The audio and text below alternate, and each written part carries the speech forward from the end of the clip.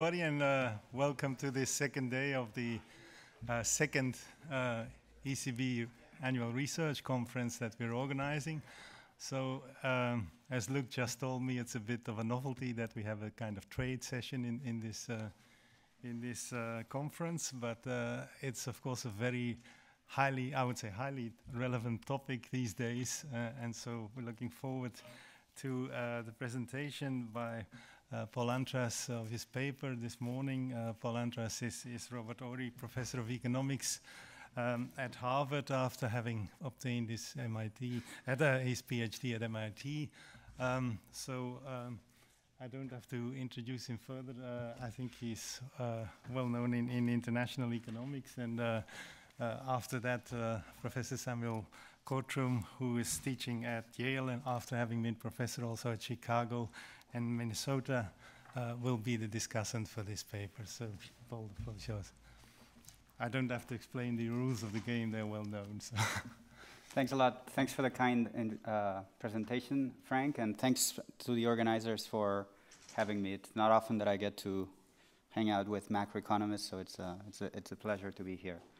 Now, I should say this is, uh, I'll present a paper which is joint work with Alonso de Gortari, who's a, a star PhD student at Harvard. Uh, he's going to be on the market, so keep an eye on him. And uh, with Oleg Itskhoki, who used to be a star PhD student at Harvard and is now teaching at Princeton University. So let me uh, begin with a statement that might sound a bit provocative, but I think it sort of reflects a consensus in the international trade field, which is that it, there are gains from trade in the sense that if you look at episodes of trade integration, there's widespread consensus that these episodes are associated with real income growth. That is, trade tends to grow the size of the pie. At the same time, uh, a variety of pieces of evidence suggest that these episodes of trade integration are often, if not always, associated with increased income inequality. Okay, so again, I could refer, refer you to a, a, a, large literature on this, but if you just want to read one paper, one survey, maybe you want to look at Nina Pavcnik's uh, overview of the topic in the recent uh, uh, Jackson Hole conference, where she presented a paper on precisely this topic. Now, I would argue, and I think uh, uh, most, if not all, trade economists would agree, maybe we'll see what Sam has to say about this, that when trade economists think about quantifying, demonstrating, and quantifying the gains uh, from trade integration, we largely uh, ignore trade-induced inequality. Now, to be clear, I'm not saying that trade economists ignore inequality. We have powerful theorems we teach undergrads about how trade affects the income distribution and generates winners and losers. But when we're asked, you know, what are going to be the implications of this trade agreement, of that trade agreement, we tend to provide one number, which is a number that ignores the effect of trade on inequality. And the reason for that is because the field has very much adopted the Kaldor-Hicks compensation principle, which doesn't have much to say about the effect of uh, shocks policies on uh, higher moments of the income distribution. And I'll review that in a second. Now, you know, obviously there's good reasons why people are using the Kaldor-Hicks uh, compensation principle. It's a great, it's a great tool, but it has certain for, uh, shortcomings. On the one hand, you might want to, uh, you know, you want, might want to know just how much compensation there is. A principle that is based on the uh, idea that the losers could potentially be compensated has to be uh, uh, kind of measured against the extent to which actually that redistribution, that compensation actually happens. And second, even if you admit that there is redistribution, that we have a safety net that compensates or partly uh, compensates the losers from these uh, uh, policies like a trade liberalization, a key question to ask is to what extent that redistribution is costless, like the principle assumes, and if it's not costless, to you know how costly it is, and how do we measure that?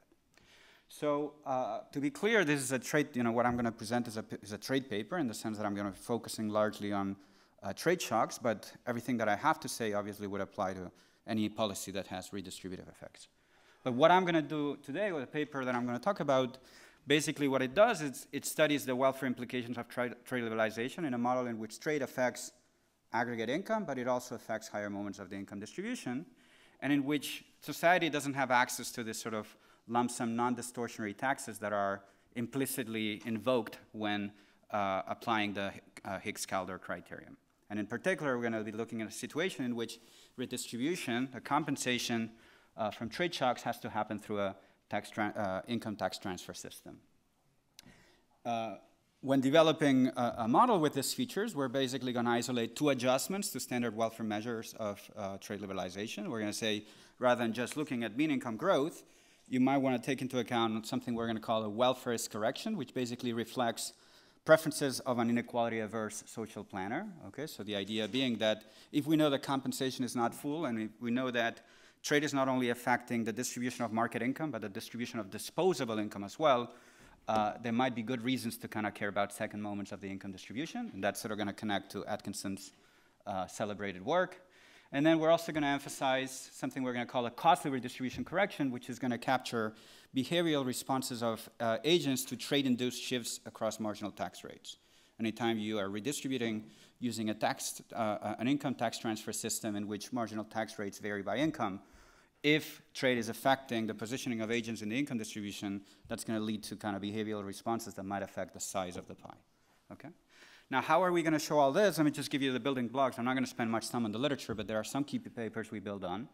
So that when we get to the trade model, and I'm going to get there pretty late, I'm not going to be able to tell you much about that. Essentially, this is going to be a Melitz-style model, and Melitz-style models is are models with intra-industry heterogeneity and firm, and we have firms that flourish, that grow with trade liberalization, they expand and export to world markets. We have other domestically oriented firms that are shrinking and are facing increased uh, import competition from foreign sources, and that generates a widening uh, uh, of dispersion across firms in an industry.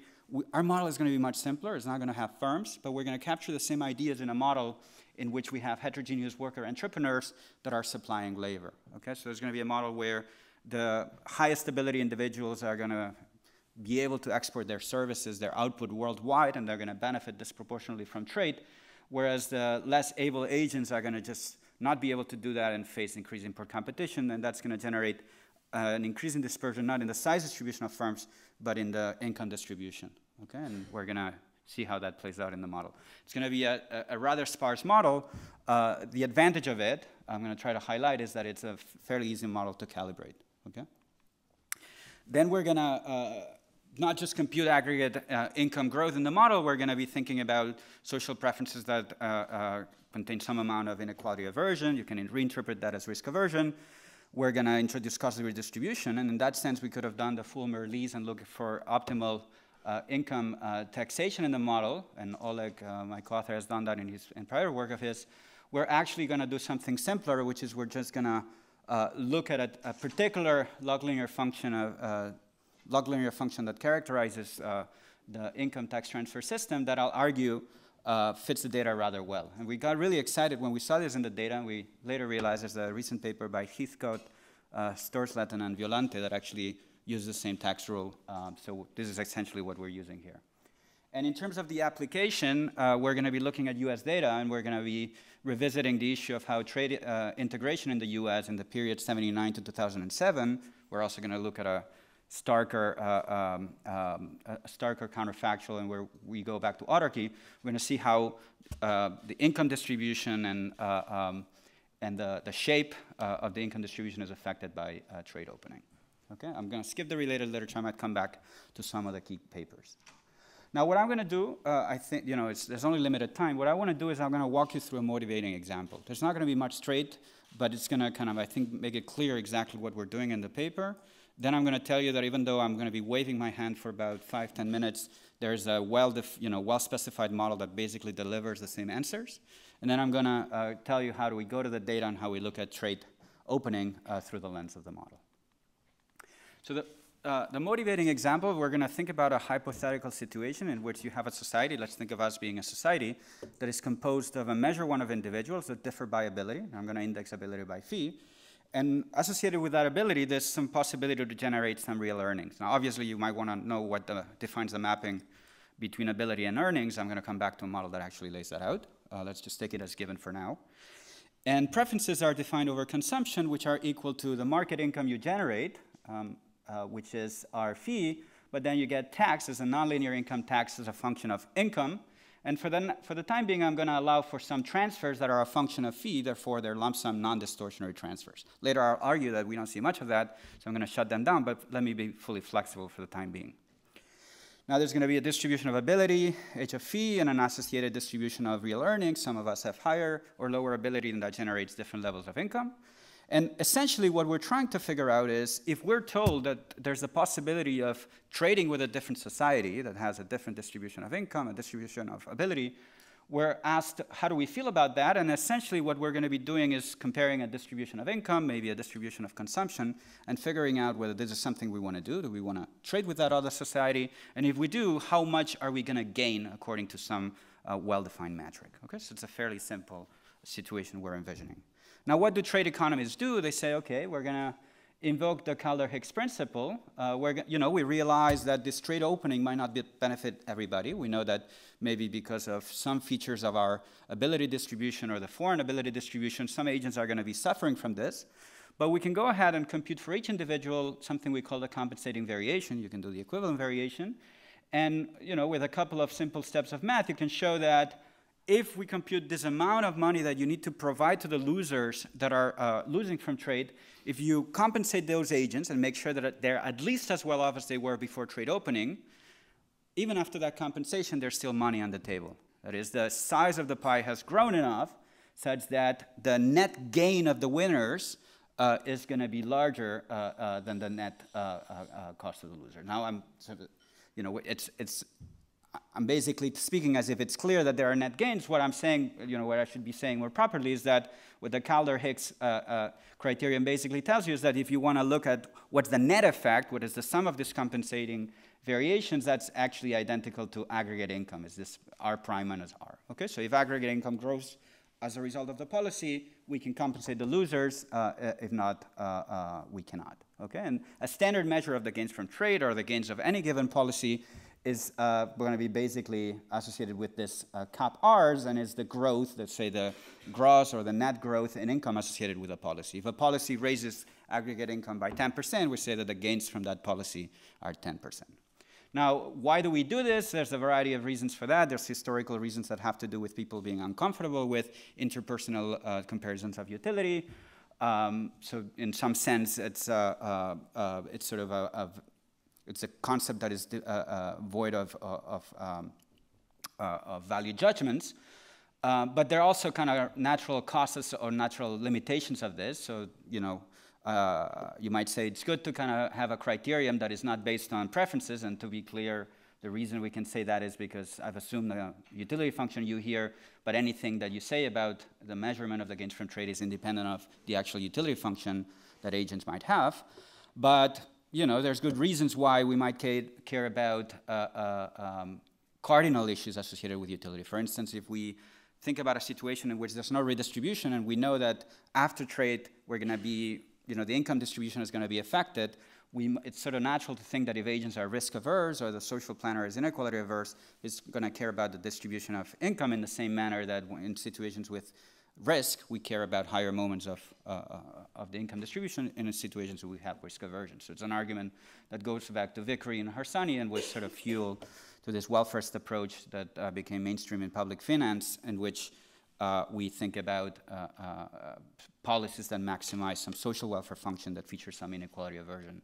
There's also issues of redistribution, which is all this is sort of based on the notion that we can give to the losers at no cost, but obviously in practice, we don't have access to the lump sum transfers, and that generates costs that we might want to take into account. Okay, so uh, to a side note, this Dixit and Norman paper is a classical paper in the trade field. It says if you thought that Kaldor-Hicks is crazy because uh, we don't have access to lump sum transfers, here's a simple mechanism by which you can engineer Pareto gains from trade by using uh, commodity taxation, factor and commodity taxation. It's a beautiful paper but if you look at the mechanism they used to show that result is a mechanism that basically kills most of the gains from trade. So that's telling you, yes, you can compensate the losers, but if the compensation is very costly, don't use this R prime over R as your measure of the gains from trade because the actual realized gains from trade might be much, much lower.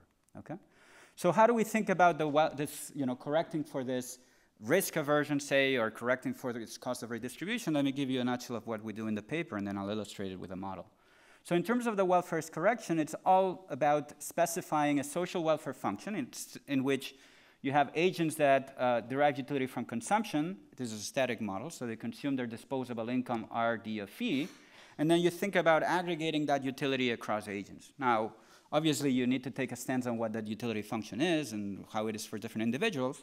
Here, I'm going to focus on a situation in which it is common for all agents, and it's actually given by this constant inequality or sort of constant risk aversion function uh, where rho governs the degree of inequality aversion or the degree of risk aversion if you interpret that, uh, uh, that concavity as reflecting risk aversion. What's cool about these preferences is that, uh, again, this is something that because of our ignorance of the literature we got kind of excited about, uh, through a simple transformation that allows us to think about welfare in terms of consumption equivalent terms, you can decompose welfare, okay, the sum of these utilities, uh, uh, multiplicatively, uh, multiplicatively into a term that reflects aggregate income and a term that reflects the cost of inequality. Okay, this, uh, this term uh, delta. Okay, so this term delta, which is a function of meaning disposable income and some higher moments of the income distribution, turns out to be related to this Atkinson measure of inequality, something that we didn't sort of realize, but it's basically this term, big delta is 1 minus the Atkinson measure of inequality. So this, uh, uh, uh, this decomposition basically tells you if you want to think about how a policy, say trade opening, is affecting aggregate income, uh, sorry, aggregate welfare, then you're going to care about how it affects mean income, but you need to also track how it affects the higher moments of the income distribution through this ter term delta. Now we're going to be looking at the data fairly non-parametrically, but if you put some structure into the income distribution, if you have a Pareto distribution, a log normal distribution, notice that you have, these are not just mo uh, higher moments of the income distribution, they're power functions of uh, income. So if you have distributions of income that are closed under power transformation, separated log normal, you're going to get like very neat expressions for welfare as a function of, say, mean income and, say, the Gini coefficient or other things like that. Okay, and what we're essentially saying is then if you're evaluating the welfare consequences of trade, you're going to you know, you're going to want to know what mu is. Remember, mu is uh, the growth in aggregate uh, income but you're also going to care about how the term delta is moving with trade. And if trade increases income inequality, delta will naturally go down. If the Gini coefficient goes up, delta will go down. Okay, so that's a first simple reason why you might care about inequality in situations in which the distribution of disposable income might widen as a result of trade, and you have inequality aversion, and this is a simple kind of way to kind of capture that. The second correction uh, has to do with costly redistribution. And for for that, I'm, I'm going to think about a situation in which we don't have access to lump sum transfers. And we're moving income across individuals through, uh, uh, through the income tax transfer system, that function tau I introduced before. And as I mentioned before, uh, we're using this, this formulation uh, that Heathcote, uh, Storslet, and Violante used as well, in which the tax system takes this particular power function. Okay, so the idea here is that the extent to which uh, uh, an individual with income R pays taxes is governed by this uh, equation one. This is an equation in which uh, you see that marginal tax rates are going to be uh, increasing in income, but at a constant uh, power rate. And it has the benefit of having a tax system that is governed by two parameters. The parameter K is a level effect, and you can sort of, we're going to pin it down to ensure that we have balanced budget. Uh, the key parameter is the uh, parameter phi, and that governs the degree of tax progressivity. If phi is very large, the tax system is very progressive. Marginal tax rates increase with income very steeply. If phi is very low, goes to zero, then you go back to a proportional tax system in which all taxes are the same uh, proportionally for all individuals. What's interesting about uh, uh, this tax system we'll see is that it's going to deliver a, a very, uh, there's two good features about it. First is uh, in terms of analytics, is going to deliver a very neat uh, representation of the cost of inequality. Uh, also, it's going to turn out to be the case that empirically it fits the data remarkably well, which is what we noticed and then found that paper where uh, it, they show it even more convincingly. Now, in order to generate some cost of taxation, we're going to obviously need uh, the fact that marginal tax rates vary by income to matter, and we introduce a sort of a constant elasticity of income to a marginal tax rate. So where is that elasticity coming from? Again, I'm going to have to bring in a model in which sort of uh, that mapping is, uh, is made explicit. But for now, allow me to just assume that if you're facing a higher, higher marginal tax rate, your reported income is going to go down, presumably because you generate less income, and that, that elasticity is constant. If you put these things together, then you can show that aggregate income in the economy is a function uh, that you can decompose into a term that reflects potential income, that is the income that the society would generate in a world in which there were no cost of uh, uh, uh distortionary cost of redistribution, times a term theta that governs the cost of redistribution. Now, that equation, that equation is a bit uh, uh, ugly, but it is a very simple function you can compute if you have access to an income distribution. Okay, and again, it's a function of higher moments of power functions of the income distribution. And invoking Hölder's inequality, it's simple to show that theta is reduced by mean preserving multiplicative spreads of the income distribution, and theta is also decreasing in the degree of uh, uh, tax progressivity. So if you have more inequality or more progressive tax system, the society is generating disproportionately less income than it would in an economy in which there were no such distortions. Okay? What that basically tells you is, well, you can compute it for certain income distributions, and again, there's all power functions, so if you choose the right distributions, you get like neat expressions that decompose this thing into the Gini coefficient and aggregate income. But more generally, the point here is that if you're thinking about policies that are going to affect the whole income distribution, if you want to compute this counterfactual income growth following, say, a, a potential trade liberalization, you again are going to want to think about how that's going to affect the whole income distribution and how that's going to affect the extent to which agents are moving across marginal tax rates. And that's exactly captured by this expression here. Now, the next thing to do is to say, okay, uh, that's all you know, fine, but you know, where is this elasticity epsilon coming from? How do we think about the mapping between ability and income distribution? So the next thing to do is to kind of put that in a well-specified model, and the model I'm going to describe is, is actually going to be super close to what I just showed you. It's just making a couple of things more explicit. So again, we're going to think about this society with a distribution of ability fee, but now we're going to think about these agents as being workers that can produce goods that are differentiated relative to the other goods produced by other agents in society. The technology is going to be a simple linear function in ability fee and labor supply, L phi.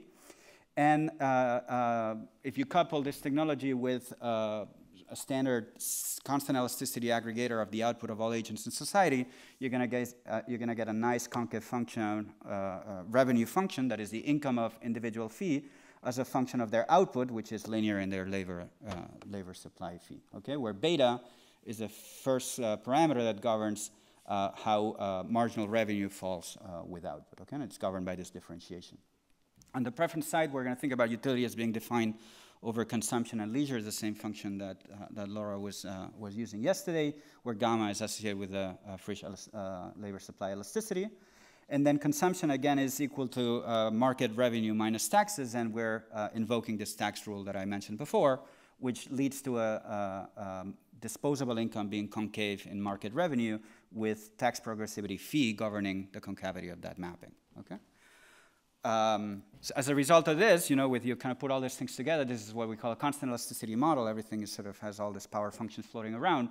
You end up with a distribution of consumption uh, uh, in, in society in, in the closed economy that is uh, a power transformation of the distribution of uh, ability where parameters of the model, I'm not going to go over it, sort of affect that mapping in, in, in, intuitive manners, okay?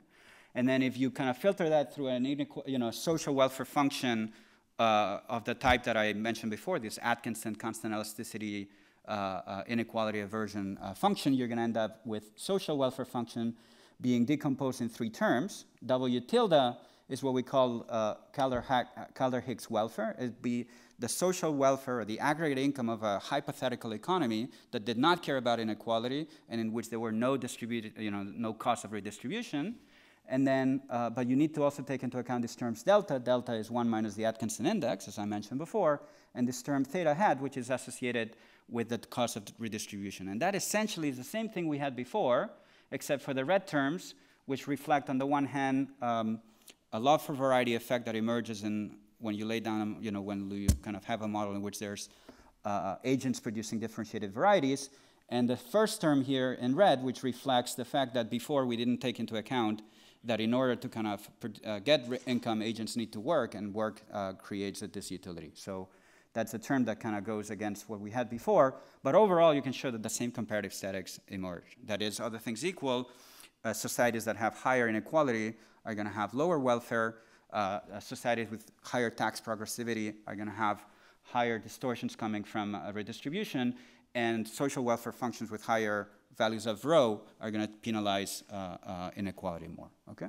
Now, with this social welfare function, uh, you can do one of many things. You know, if you were a macroeconomist, you might say, okay, uh, I can, I, I, might get data for all these things, and I can pick you know, natural parameters for these values and uh, for this. Um, I can pick values for these parameters, and I can compare income growth in the last few years and see to the extent that income inequality has been changing, not just mean income, but higher moments of the income distribution have been changing, to what extent these terms have been changing. Okay, so uh, you can do that. i am not sure I'll have time to kind of tell you much about that. The other thing you can do is sort of envision an open economy version of this model and sort of compare a closed economy versus an open economy. You can uh, look at different degrees of trade openness and see how welfare is changing uh, as a function of how welfare would change in an economy with no distortions or in an economy in which inequality didn't matter. Okay, so uh, in terms of uh, um, well, uh, in terms of sort of looking at the data, essentially what you need to kind of uh, uh, measure these things, well, you obviously need an income distribution.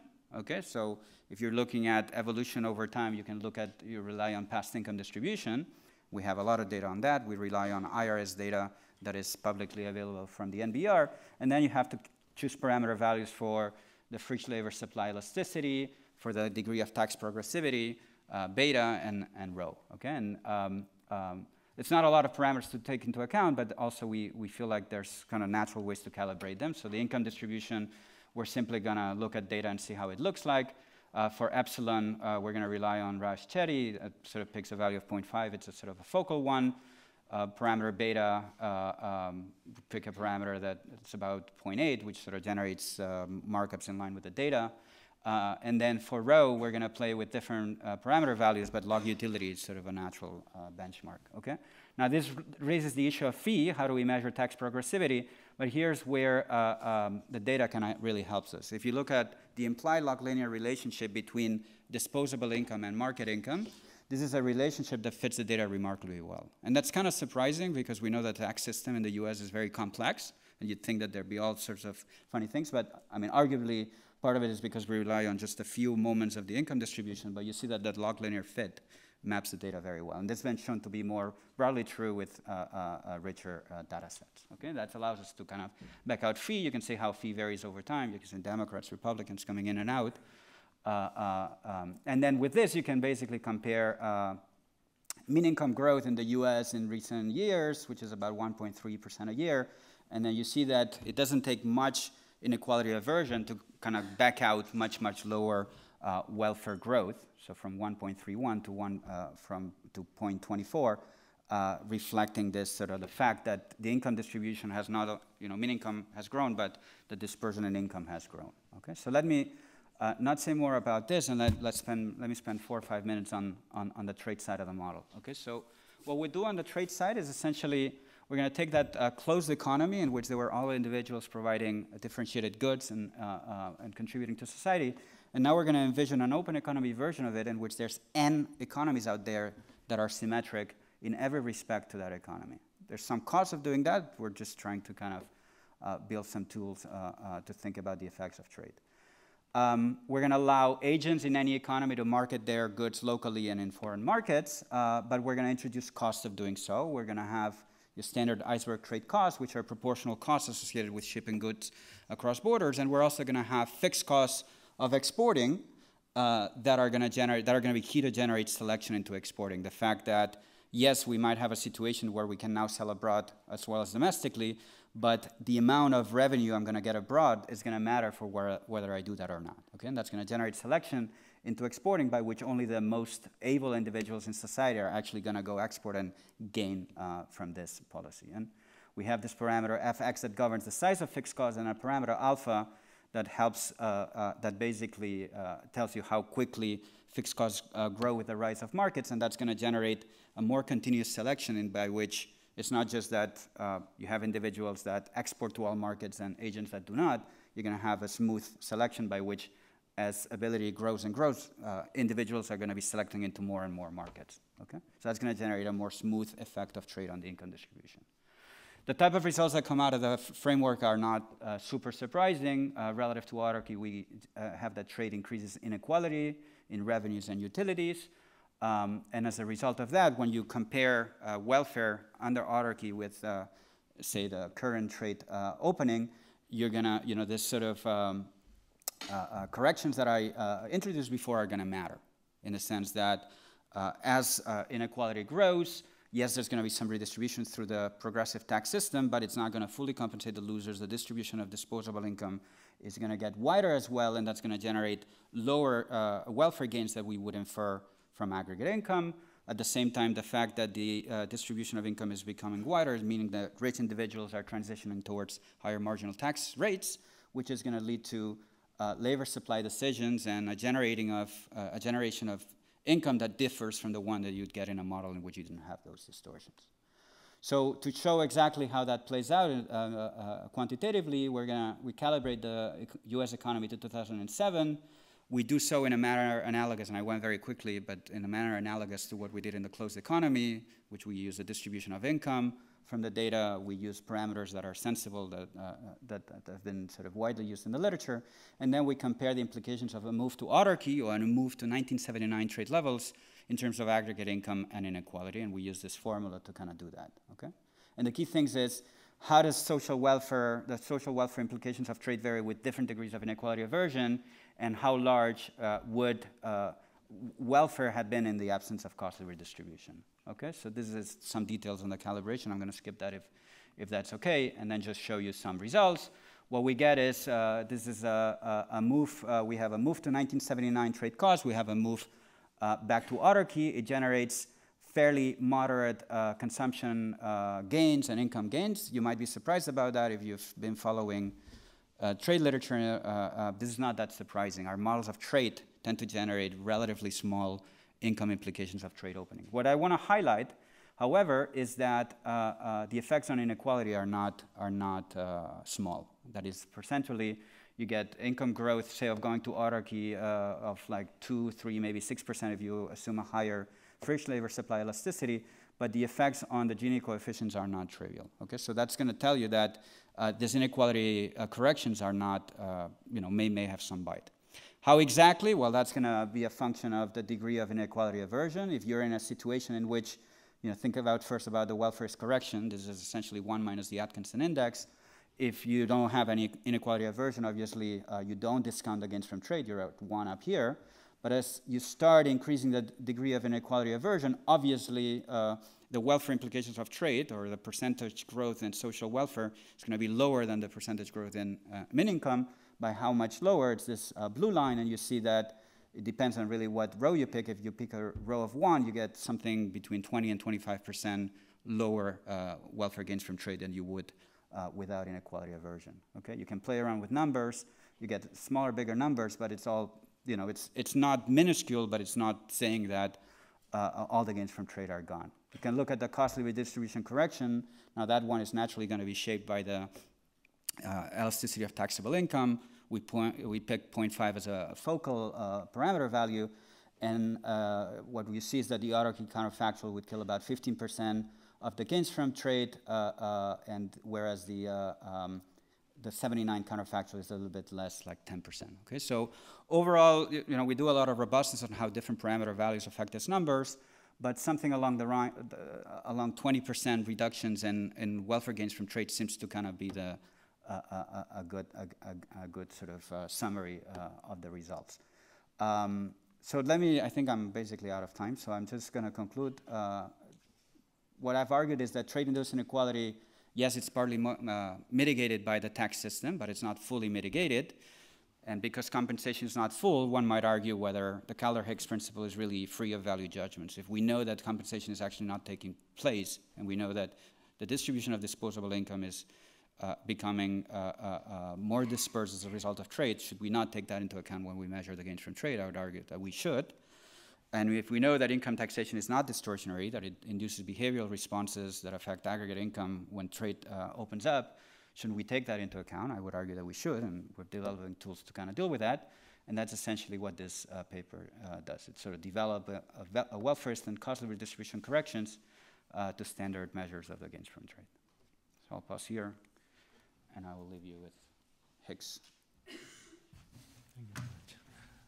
Thank you, Pol, and I immediately give the, the floor to Samuel. Uh, I think it should be done automatically, no? Automatically by Luc. Uh, yeah, you need to. Yeah, close it. Click that. And then, And then uh, The last last one. Yeah. Control. Okay. Control. Control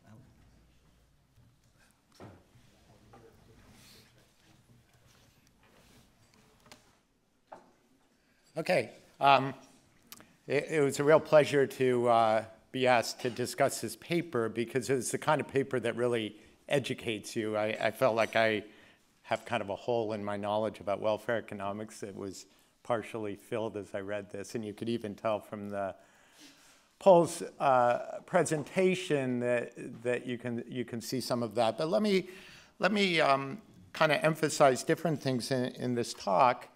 Let's start with a picture they have right at the beginning of the paper, which looks at the US from 1979 to 2007, so almost a 30 year period. And it looks at two things. It looks at uh, trade to tr gross output, which is the blue line that's growing from 5% to um, almost 8%. And those numbers seem very small, but that is done over, we often look at, say, the manufacturing sector. This is just looking at the whole economy. So those numbers look sort of small. And then it's also looking at the Gini coefficient of market income. Um, so let's first um, uh, uh, think, about, think about the blue line, and then we'll bring in the red line later. So uh, in the trade literature, we've been um, calculating gains from trade using quantitative models that fit uh, bilateral trade data. So we feel like they're, they're based on something. So let me give you a, a little sense of how those work. Well, we start by measuring a country's distance from autarky by looking at basically one minus the blue line. So how far are you from just buying everything locally? Um, that, so the XNN is what you buy from yourself, XN is what you buy in total. Okay, then we observe that we can, we can see this thing changing over time. I, I mean, uh, uh, just a profound trend in the data is that uh, lambda is falling over time, although it's kind of leveled off in the last few years. Um, so if we have two values of lambda, we can uh, take the ratio, raise it to the minus 1 over theta power, where theta is a trade elasticity, and we get a measure of the, the proportional uh, gains from trade. So if we put in theta 4, which actually very nicely matches the, the value, uh, one of the parameters in Pol's paper, it's, it's an, uh, we, get, we get a welfare gain of about three-fourths of a percent. Now, that's modest. That's just, I mean, that's kind of in the ballpark of what you get. Those numbers can get bigger when you have multiple industries or input output relationships. But in a big country like the United States, you don't get giant numbers for, for, for such, uh, in such calculations. Okay, now, where is that coming from? What are the kind of pros and cons of that approach? Well, it's theoretically sound. I, actually, Jonathan Eaton and I kind of came upon it randomly in working on a model of trade, and we thought, oh, wow, that's a real, we were doing these complicated uh, simulations on the computer, and then we realized, oh, actually, we could just do this back of the envelope calculation. At least we were thinking of it as going all the way from autarky, where the lambda equals one, to our present situation where lambda is less than one, but not all that much less than one for the United States. Um, and then um, uh, Dave Donaldson used it in the, the way that I just used it, where it's sort of how much how much uh, gains you've gotten by moving from some level of trade to some higher level of trade, so lambda declining. And then uh, uh, Costinot, and Rodriguez-Clare showed that it actually is a way, is, is a statistic that's kind of theoretically motivated by a bunch of the models we've been using to fit bilateral trade and to fit firm level data and so on. So that was kind of attractive. And back to Donaldson, I think his, his use of it in his paper Railroads of the Raj was particularly compelling because then he, he shows that in looking at the gains from railroads, uh, it kind of beat out a direct measure of railroads as a way to capture the real income gains brought about by the railroad. So it was sort of the sufficient statistic. Who cares about the railroad data? You can just look at how much more India traded, and that itself would be a better measure of how the railroads uh, raised income. Okay, what's the major shortcoming? Well, this comes out of models where labor's mobile, so there's no income variation. There's, for that matter, there's no taxes in most of our trade models. So um, it didn't really, we were kind of implicitly building in this Kaldor-Hicks principle, and that's where this paper comes in, is what do you do if you don't want to build in such a principle. And, and the paper both gives good reasons why you wouldn't want to build in such a principle, and then what you do if, if you want to get, get around it, what, what else can you do? Okay, so it's real, as I said, it's a real tour de force. Um, it's a very tight theory, careful calibration, and sometimes surprisingly, you know, calibration that really fits the data nicely. Um, and, and, and as I mentioned, a kind of clear connection to the past theory that, that's very nice for just sort of understanding how all these things fit together. It really exploits these constant elasticity functional forms and makes it very parsimonious and clear. But one nice feature is that it, it leaves the income, by doing that, it can be very um, non-parametric about the income distribution itself, which is, is quite nice. So you can just kind of let that, the shifts in the income distribution kind of speak directly uh, rather than having to, to parameterize them. So you get a formula like this where you start on the right side with something like I showed you, which is, is, is a calculation that's not taking into it, it doesn't have any distortions from taxation and, and uh, labor supply elasticity doesn't have, and then takes account of how you lower the gains from trade because of such distortions, and then how you further lower them if you're um, inequality averse, and then gets you to an overall gains from trade. Now, it's not quite that general in the sense that the rightmost term, you can't just take the one I gave you before and stick it in there, because you actually, I mean, this is a first shot at this, they have to make a kind of particular model of trade that integrates with the rest of the theory. So the W tilde prime over W tilde has to come out of a model of trade that, that integrates with this theory. And so that's what I want to talk about for most of the rest of, of, of my discussion here. So let me, I think Pol did a great job of kind of describing the basic stuff. So let me skip over this and go right to the international trade part, which he had to, to go over kind of quickly. So the way the international trade model works that does integrate with this theory and allows us to do this welfare correction to take into account both inequality aversion and the, the losses from the interaction of progressivity and a labor supply elasticity uh, is a model with symmetric countries uh, there's preferences over the outputs of individual uh, individuals in the economy, individual workers, it kind of has a feel of a Krugman monopolistic competition model, except there are no firms and there's no monopolistic competition. Uh, the firms are replaced by just individuals who are just supplying their, their output to different countries. Uh, so workers have an incentive to try and sell their output in multiple countries because they escape kind of pushing down their demand curve for their special thing that they bring to the world. If you sell a little bit in the US and a little bit in, in Germany, you're not glutting the market in the, in the US. Um, but it's increasingly expensive to export to more countries, and that's a kind of Melitz feature of the model. Uh, that there's this fixed cost of entry into different export destinations. Um, but again, it's individuals, not firms. Now, that seems like a kind of, when I first read the paper, I was like, great. And then I got to that and I thought, ah, this isn't to cut it. This is such an abstraction as a way to think about firms. I don't really sell my uh, you know, the output of what I do internationally. Well, maybe we kind of do as academics, but anyway, it didn't seem like uh, a good way to explain the whole economy. As I sort of lived with the paper over the last few weeks, sort of became more sympathetic. For one, it wasn't easy to think of a better way to do it. And I think there is a way to think of this kind of connected to more classical models of trade, so that's what I want to do next. Um, okay. So this is an example, actually, a numerical example that's very similar to one that Krugman had, which he said he himself borrowed from Lewis. So it has three sectors, sector one, two, and three. And, and I'm making two countries, the US and the EU, and I'm showing you there the productivities. Don't worry, I, I copy those into each subsequent slide because you kind of need them to figure out what happens. Okay, so each country is endowed with three workers. And there's symmetric Cobb-Douglas preferences. So we spend one third on each of these goods. We want to spend a third of our income on each of these goods.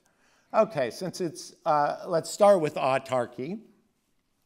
Now in autarky, because of Cobb-Douglas preferences, there's going to be, the equilibrium will be one worker in each sector.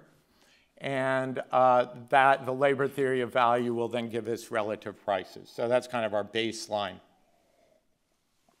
setting. Um, okay, so it's 200th anniversary of Ricardo's model of trade, so it's nice to talk about that today. Um, in a model of trade, wages get equalized across countries, at least if the countries are similar enough and they're symmetric here. And that's because both countries continue to produce the sector two good.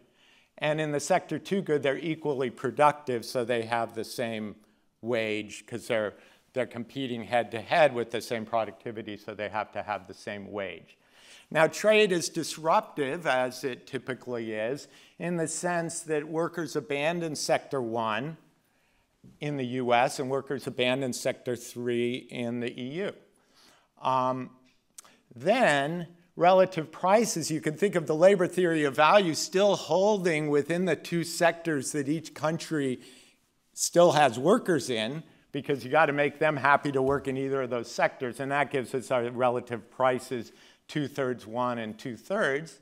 And we can think about the gains from trade here in a kind of uh, idiosyncratic way that I like, which is that the US, who's abandoned sector one, has effectively a productivity of producing sector one goods that's improved. And why is that? Because they've pull that, that guy from sector one's moved over to sector three. He can produce three units of sector three good, trade them at, at, at a relative price of one to two thirds to get sector two goods, trade that uh, to buy the sector one good, and he ends up getting three of the sector one goods. So it's as if his, it's as if the U.S. got a productivity gain from one to three in sector one but they're literally not producing any Sector 1 goods. They're trading for them. They're producing Sector 3 goods and buying Sector 1 goods from the EU. And that gives the US, and it would be symmetrically, uh, you know, kind of mirror image in the EU, a welfare gain of 1.44 or 44%. It's a little bigger than my 0.7%, uh, but anyway, that's the idea. Um, Okay, now what if we go back to autarky and think about those workers that distribute? Remember, the Ricardian model, we, the workers all abandoned sector one in the US and sector three in the EU. Now let's go back to these workers in these three sectors, one worker in each sector. And let's suppose that when we open up to trade, they just can't move. They're stuck. Maybe that's just what they know how to do, or maybe this is a kind of transitional situation where they haven't yet realized they need to it's costly for them to, to retrain for the other sectors. So in this situation, we basically get an endowments model. Because, why is that? Because you, there's these fixed workers in each sector, one in each sector. There's productivity that generates an output of each of these three goods in each of these three countries, and then they start to trade. Well, that's called the endowments model of trade. You've just got some stuff here, you've got some stuff here, you start to trade.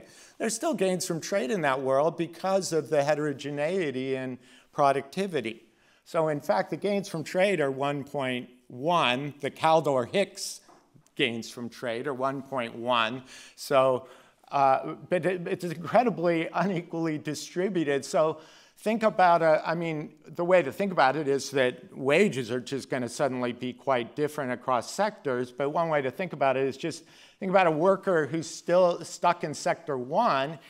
That guy used to be able to buy three units of sector three output in autarky because then he was producing this thing with low productivity, so the price was high. Now the price isn't high anymore, it's not any higher and because we're now trading with this symmetric mirror image of ourselves.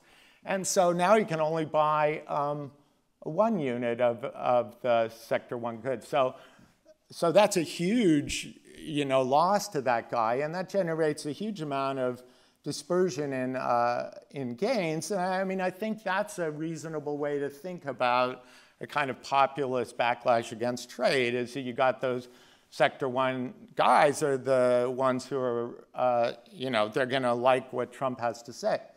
So, um, okay, so where did I want to go? Okay, so now um, what happens, how do I tie this together with the model in uh, Pol's paper? Well, before I abandon this, do I have five minutes left?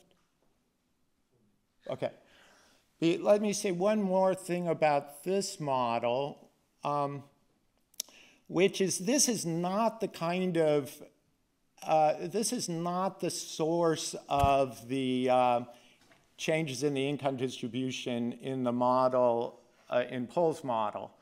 I think this is a good way of thinking about it, but it's not what they do. They, they mention that this is not what they do because they, they sort of think of the, this kind of effect as being more of a short run effect about workers not moving. Now, of course, because if the workers just moved to where the high wages were, we'd be back in the Ricardian thing and everybody would gain, and then you'd have the Kaldor Hicks. So, what do they do? Well, they do something slightly different basically eliminate the head-to-head competition in international trade by just saying, well, actually, there are just six goods. There's the good one produced in Europe, and that's not the same as the good one produced in the, in the US. So now there's six goods, makes symmetric CES preferences across those six goods. Productivity is unchanged from my example. And now you can just think of some workers having high productivity and some workers having low productivity. We've kind of eliminated this idea that a sector really means anything. It's just you, this is just you and how much stuff can you produce and these goods are all symmetrically entering people's utility function. Um, now you can see that the workers with, the, you know, now it's really high productivity workers because they're just producing the same it's not the same stuff, but it's symmetric. And it's those high productivity workers who are going to be more willing to, to overcome the fixed cost of selling abroad. And in fact, that's crucial for this widening of the income distribution in, the, in their model is that uh, some people decide to sell in both countries and some people don't, buy, don't find it worthwhile to pay, pay that fixed cost they're stuck just producing locally, and now they're facing the increased competition from abroad. So you widen the income distribution, and that's the model of this paper. Okay, to just give you a little taste for results, um, remember I came up with a, a, like a 3 fourths percent gain, uh, Kaldor Hicks gain. Uh, in in their, their, their calibration gives something slightly different, but it's the same ballpark, around 1%. Uh, now let's get back to the red curve, the Gini coefficient. So in the data, it went up 23%. In their model calibration of this sort of inequality generating mechanism of trade, they capture about a 1% change. So it's, you know, it's, it's 5% of the, actual inequality can be captured by this mechanism. But that doesn't do trivial things. It's, uh, even though there's a lot of inequality increase still to be explained, their, their correction for inequality that the social planner doesn't like has them downweight that uh, 1% Kaldor-Hicks gain by a factor of 0.8, and then the, the, the inefficiency of kind of generating more inequality having that taxed higher at the high end, and then that leads that guy to work less, that's the kind of theta effect that, that has you reduce welfare by, by another factor of 0.9. So these are adjustments that aren't overwhelming. On the other hand, they're not trivial, and I think that's, that's about all you can hope for in, in this kind of first cut. Um, so I think we do need a better understanding of the distributional consequences of trade. This paper takes a big step in the right direction by kind of developing a very nice tool for doing that.